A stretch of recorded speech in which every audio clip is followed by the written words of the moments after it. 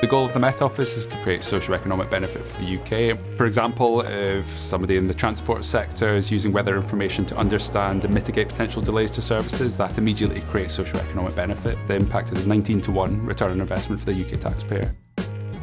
We use a whole suite of different observations to do these predictions. Satellites, radar, measuring equipment in aviation to buoys and weather observing equipment on the ground. Most of the data is delivered directly from the Met Office to customers. We go all the way from understanding how the weather works and how to predict it, through to services that tell emergency services when to turn the blue lights on or help industry make decisions. So we really see Snowflake Marketplace as a way to get these data sets out the building and into people's hands, helping you make better decisions to stay safe and thrive.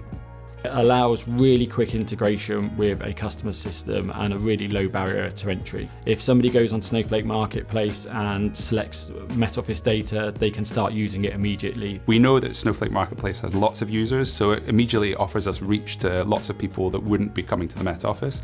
But importantly, the other thing that it offers is tooling co-offered with the data, which means that any user using our data can now get more value out of that data it's been established for a while that weather drives health outcomes like heart attacks and asthma attacks. So we've been trying to get this data in the hands of the NHS. By getting our data onto Snowflake, we know that it's easier for them to use. They can really start to use that to look at things like burden on, on health services and emergency responders. One area we're beginning to explore are the tools and applications that Snowflake has, and Cortex AI is an area that we've created a proof of concept, It's taking our weather forecasts and generating text forecasts, which is a really interesting area to explore. We hope to publish more data on the marketplace to be able to get that to more users so other people can get more benefit out of Snowflake.